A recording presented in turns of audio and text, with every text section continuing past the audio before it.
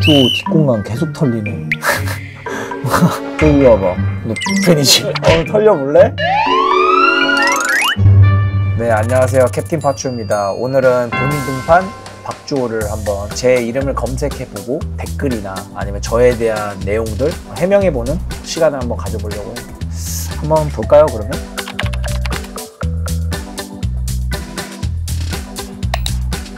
(1987년생) 맞죠? 강북구 출신. 저 강북구 출신이 아닌데 근데 초등학교를 강북구를 나왔어요. 축구부가 있는 곳으로 진학을 하기 위해서 전학을 간 거였어요. 용인시에서 태어났고요. 하남시에서 쭉 살았어요. 저 출신 하남시입니다. 수정 부탁드리겠습니다. 그리고 대한민국의 축구 선수 수비수 미드필더 대한민국 아시안게임 메달리스트 병역 특례자 유튜버. 뭐 다 했네요. 어, 특이한 게 있네요. KBS 연예대상 수상자입니다. 제가 특이사항이죠.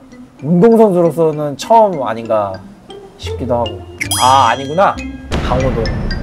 현역. 아 현역으로는 네. 뭐 제가 탄 건 아니지만 아이들이 탄 거지만 그래도 경력에는 저도 있다는 거 와 아이들 태어난 것까지 벌써 다 있네? 야 되게 신기하다. 뭐 축구 2008년 데뷔 맞고요. 미토 홀리호크, 가시마 앤틀러스, 주빌로 이와타, 바젤, 마인츠, 도르트문트. 그리고 울산 현대 지금 뭐 축구로서는 제가 할 수 있는 것들은 사실 저는 계획대로 왔어요. 축구에 있어서는 정말 계획대로 계속해서 이적을 하고 꿈을 계속 한 단계 더 높게 높게 높게 이렇게 너는 계획이 다 있구나. 진짜 기억에 남는 시즌이 2013-14 시즌인 것 같아요. 저한테 투헬이라는 감독을 만나서 굉장히 축구를 색다르게 배웠고 너무나 재밌었어요. 그리고 자철이와 오카자키와 같이 하는 생활도 너무나 재밌었고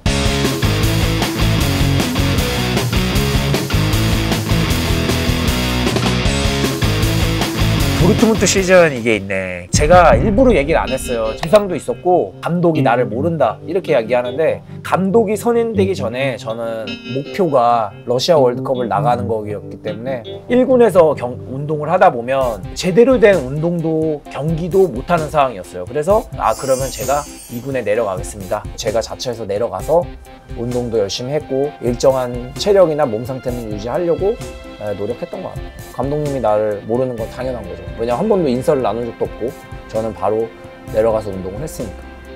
그리고 저는 처음 보는 감독님이나 코칭 스태프에서는 아, 저를 한 번도 바로 아 진짜 좋은 선수다 이러고 썼던 적은 막 흔하진 않는 것 같아요. 근데 오래 있으면 있을수록 저를 안 썼던 감독님들은 없었어요. 그만큼 저도 성실하게 했고 또 계속해서 가치를 제가 증명하려고 많이 했던 것 같아요. 그리고 슈퍼맨 같은 경우도 이건 한번 얘기한 적이 있는데 도르트문트에서 2군으로 자체에서 내려가면서까지 월드컵을 나가고 싶다는 마음이 간절했는데 이제 첫 경기 부상을 당하고 네, 심한 부상을 당하고 이렇게 허무하게 모든 게 끝나니까 아 되게 허탈하더라고요. 처음으로 축구에 대한 약간 회의감도 좀 들고 어, 좀 힘들었던 시기인 것 같아요. 그 와중에 이제 슈퍼맨이 돌아왔다 프로그램을 하면서 아이들과 시간을 보내고 좀 힐링을 많이 했던 것 같아요. 뭐 여담을 보면은 덤블링 스로인을 제가 이제 해서 화제가 한 번 됐었는데 근데요? 흡병? 다시 한번 보실까요?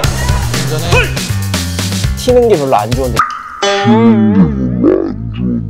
감독님이 하라고 막 해가지고 억지로 그래서 하긴 했었거든요. 근데 또 그게 화제가 되긴 되더라고요. 그러면서 뭐 저는 사실 지금도 좀 부끄러워요. 네, 그리고 운동선수 이미지와 걸맞지 않는 고소공포증. 이거는 운동선수뿐만 아니라 고소공포증은 누구든 못 견뎌요. 고소공포증이 있는 사람들은 운동선수랑 상관없이 굉장히 무섭습니다. DC 인사이드 박주호 한물간 국대라 생각했는데 세징야 지워버리네. 셋째 buff 덜덜. 진야만 만나면 각성하던데 이거 볼까요? 박주호 뒷공간 계속 털리네 공격력 제로면 수비라도 잘해야 아, 얼마나 털렸나 한번 대구전? 대구전 뒷공간 뭐 털린 적이 없는데? 여기 와봐 뭐 대구 팬이지 어, 털려볼래? 축자랄들은 한국 수비수 중 박주호가 가장 아쉽더라 뭐가 아쉬운 거야? 더 컸어야 되는 거예요? 아니면은 그냥 마인츠에 있었어야 함 이러는데 어 생각을 한번 해보세요 아니 중소기업 다니는데 대기업에서 오퍼가 왔어 안 갑니까? 가야잖아요 아니 한 번은 대기업을 한번 찍어보고 다시 중소기업 오더라도 저는 실패했다고 생각하지 않습니다. 그냥 제 한계점이었어요 도르트문트가. 마지막에 이제 도르트문트 이적을 앞두고 그래 어차피 지나간 거 얘기하면 아, 싫어해가지고. 근데 제 채널이니까 사실 레스터 시티와 도르트문트 이 두 오퍼가 와 있었어요. 오카자키랑 저랑 마인츠에서 콤비가 너무 좋다 보니까 레스터치에서 저희를 쌍으로 영입하려고 약간 추진을 좀 했었는데 제가 계획했던 대로 저는 도르트문트로 이적을 하게 됐던 거죠. 근데 레스터 시티는 우승했거든요. 그 년도. 제가 갔으면 프리미어리그 우승을 할 수도 있는 저 때문에 우승 못했을 수도 있지만 과추호는 요리할 때만 웃긴 왜? 나 요리 잘하는데? 그 그리고 그 음식을 안 먹는 건우가 웃겨 아 애들 땐 다 편식하는 거죠 애들은 다 또 잘 먹을 때가 있고 안 먹을 때가 있고 하는 건데 저 요리 잘합니다 좀 실수는 하지만 그래도 제 스타일대로 잘 만들어요 박주호는 글씨도 못 쓰네 인정? 글씨 잘 못 써요. 또 이또 이게 또 또 미담이 여기서 또 나오네요. 박주호 끝내줬던 팬 서비스. 팀버스 떠나고 경기장 불 꺼졌어도 사인을 모든 사람을 다 해주고 갔다. 아, 근데 제가 또 아이들한테는 약해요. 아이들 팬들이 많았고 누구 한 명 해주고 가기가 좀 애매하더라고요. 역시 호감 그 자체 받추오네요. 말 잘하고 호감이라 은퇴해도 해설할 것 같네요. 훈훈하네요. 네. 쭈 정도면 존잘이죠.